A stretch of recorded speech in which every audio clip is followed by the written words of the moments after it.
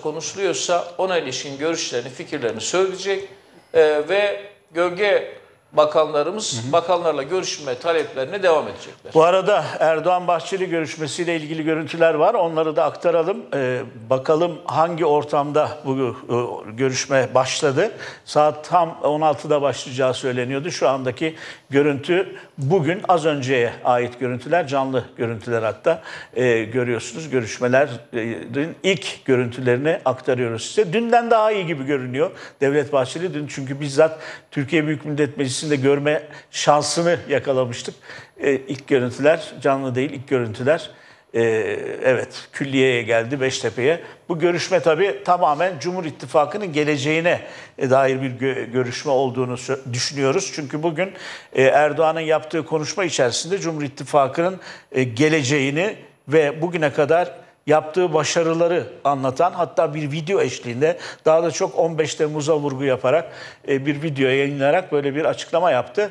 Devlet Bahçeli'nin bu konudaki önemli rolüne ve Cumhur İttifakı'nın da başarılarına ciddi bir şekilde gündeme getirdi. Bu görüşme öncesi yaptığı bir açıklamaydı. Zannediyorum e, görüşme öncesi biraz daha havayı e, yumuşatan ve herhalde bir anlaşmayla tekrar çıkılacak olan bir görüşme. Ne düşünüyorsunuz siz bu görüşme hakkında? Ne, ne kadar çok bizi ayrılamayız e, şarkıları artarsa orada ayrılık tartışmaları ya da ayrılığın bilinçaltı düşünceleri daha çok olur gibi geliyor.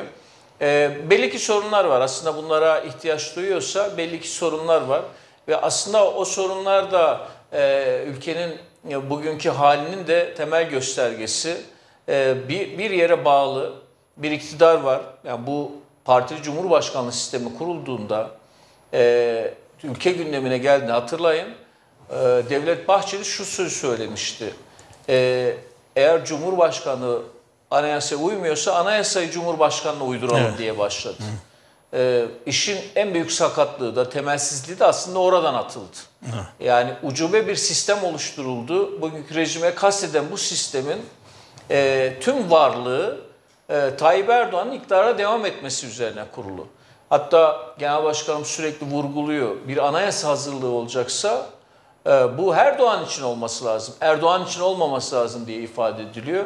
E, o nedenle bugünkü görüşmeler de aslında bunun devamı niteliğinde. Mevzu ne ülke, mevzu ne ekonomiyi kurtarmaya dair, ne hukuksuzluklara dair.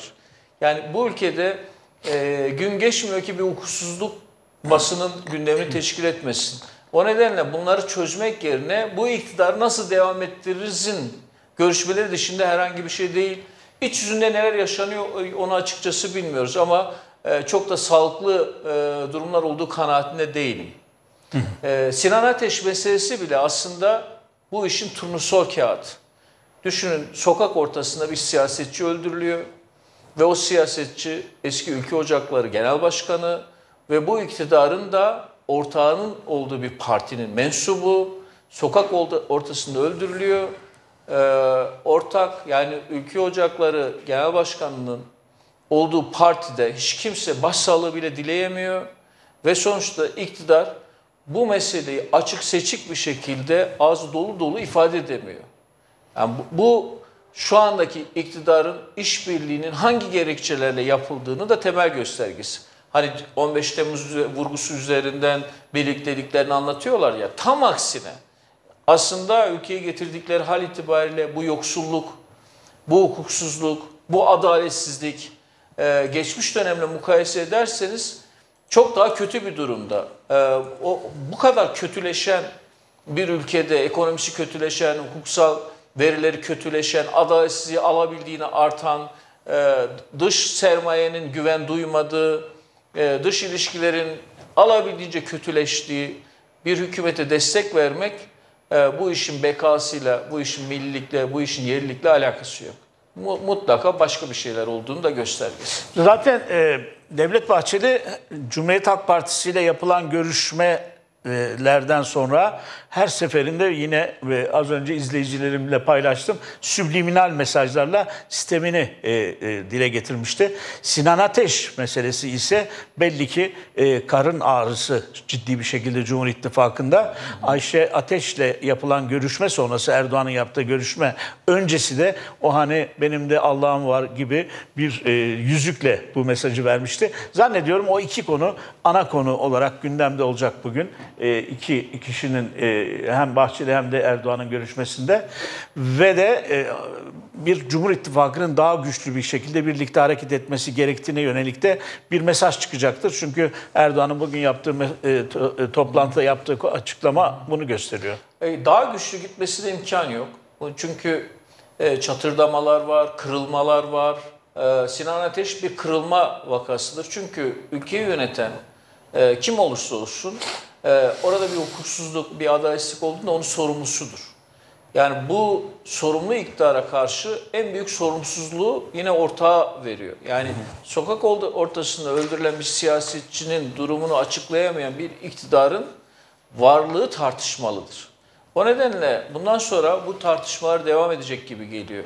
Bir, bir başka e, önemli vurgu da e, Devlet Bahçeli'nin sık sık bu açıklamaları, e, Genel Başkanımızın normalleşmeye ilişkin Tayyip Erdoğan rahatsız olduğu o konuşmanın e, kökeni nedir?